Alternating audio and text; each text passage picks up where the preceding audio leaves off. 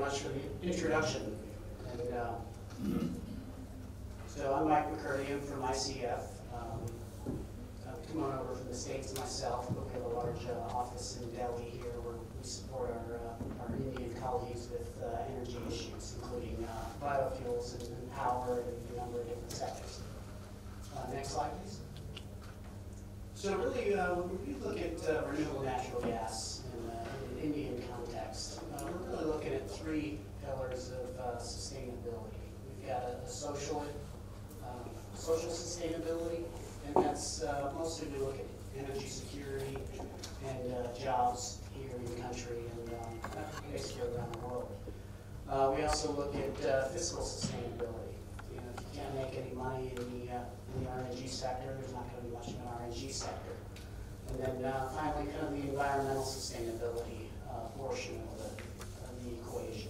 Um, as, as Dr. Garb so uh, me- uh, mentioned, the, um, the greenhouse gas uh, damage from uh, methane is, is far greater than that of uh, carbon dioxide. Uh, The California regulators who put uh, rules in place regarding the, uh, the carbon intensity of different uh, technologies actually use a 25 times uh, factor. So each, each molecule of uh, methane is 25, is equal to 25 carbon dioxide molecules. Uh, Next slide.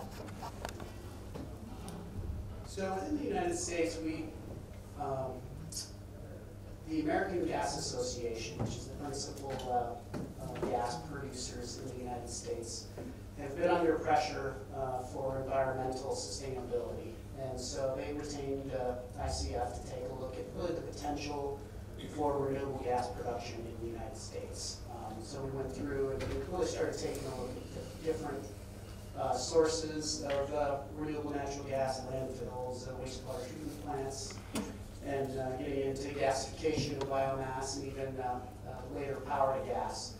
And we found out that, at least in the United States, we really have the potential to, to produce about a third of our, our natural gas usage via uh, bio methods.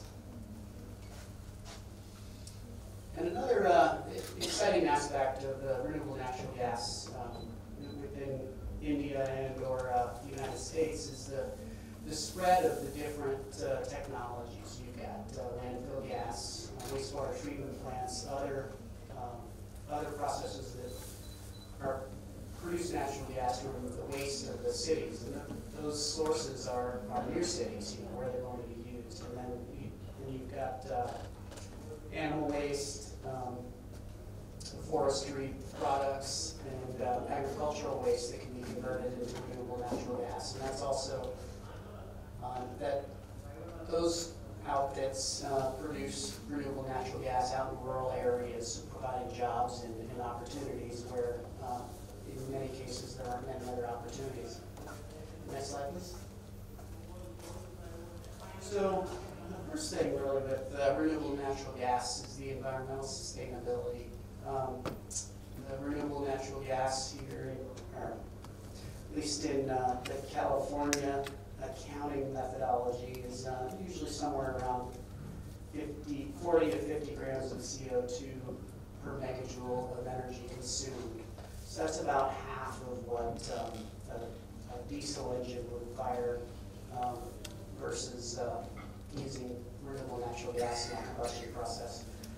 So you're, you're uh, by using RNG, you, you basically cut your um, CO2 emissions in half. Uh, next slide, please. And uh, uh, this is a, a relatively new feature of the, our accounting processes in the United States. In, in 2019, the, the California Air Resources Board started looking at uh, negative carbon intensity, negative uh, uh, CO2 emission projects. And in the United States, at least, the animal uh, livestock operations, they're, they're not regulated, so they, uh, uh, the methane emissions off their digesters goes right up in the air. So um, within their, their California Low Carbon Fuel Standard Program, they basically allow people to voluntarily opt in and capture the methane that's, that's produced at these uh, dairy operations.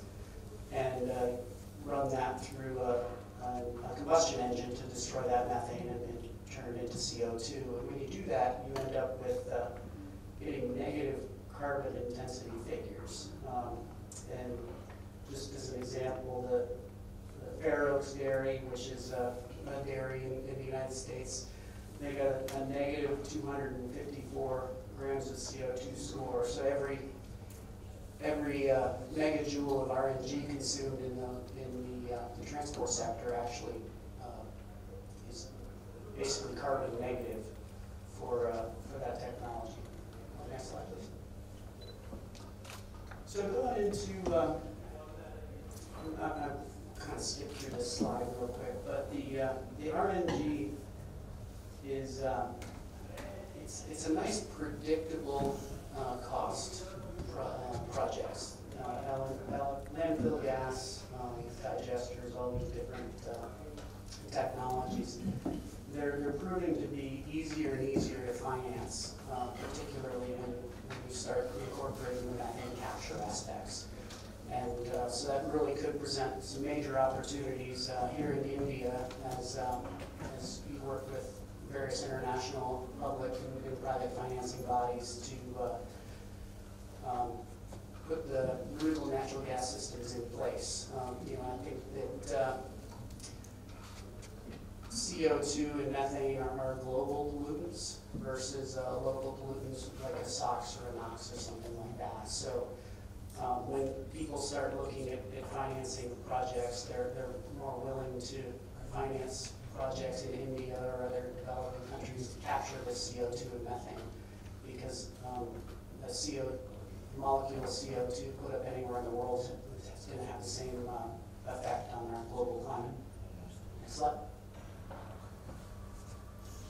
And so uh, basically on the fiscal sustainability of this, uh, in the United States, the natural gas, the fossil natural gas is about three dollars per million BTU of uh, energy content.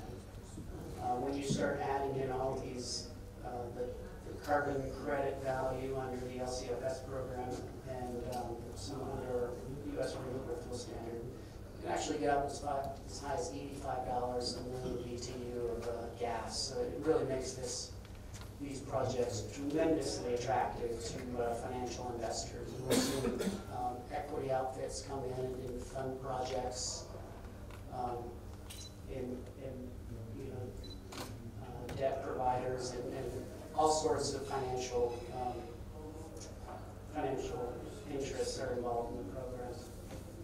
Next slide. Then uh, probably the last real issue is uh, we're, we're looking at power to gas being a, a, a big game changer here in the, uh, the upcoming years. Basically, where uh, renewable systems, particularly those that are curtailed within the, uh, the grids, or the, the, grid's not available to take all of the, uh, the electricity produced. Um, using that electricity to make hydrogen, which is then converted into methane using either biological methods or, or catalytic methods, and then using that, that methane as the storage, uh, that energy storage in, in lieu of a battery or something like that. So um, it really, there is tremendous potential um, in India, United States, and elsewhere as far as um, using that natural gas. And uh, basically, it's uh, emission-free because it's capturing CO2 from the atmosphere, combining that with the hydrogen that's produced in the uh, um, from the solar panel, uh, solar panels. Uh, next slide. Then um, this is almost more of a technical issue for the uh, the Indian Oils and other other large um, uh, institutions here in India, but uh, the United Nations has put together a, uh, a method by which you can classify the renewable reserves. What that allows them to do is uh, typically a large oil, oil operation, uh, exploration company would uh, report how many barrels of oil they've got under the ground or whatnot. Um, for the first time, the, the UN came in and stepped in and put together a program where uh, a renewable outfit can, can classify their reserves the same way. And so it's interesting in that you can start valuing these RNG projects based on the, uh, the total RNG you're gonna produce over the lifetime of the asset, not, um, your EBITDA figures uh, on an annual basis. So it's, uh, could provide a, a big opportunity, especially for, uh, for projects that are are satisfying the sustainability development, sustainable development goals, SDGs of, uh, the United Nations and, uh, big, uh, international financiers. Next slide. So really kind of in, in conclusion, RNG really can provide a, secure indigenous resource in, localities throughout India. Um, negative carbon intensity RNG projects provide significant financial returns to their owners. Uh, power to gas is, is likely to be a very big topic here in the upcoming years and really present an opportunity to, uh, maximize our renewable contribution to the grid and, and in both financial and uh, in grid security.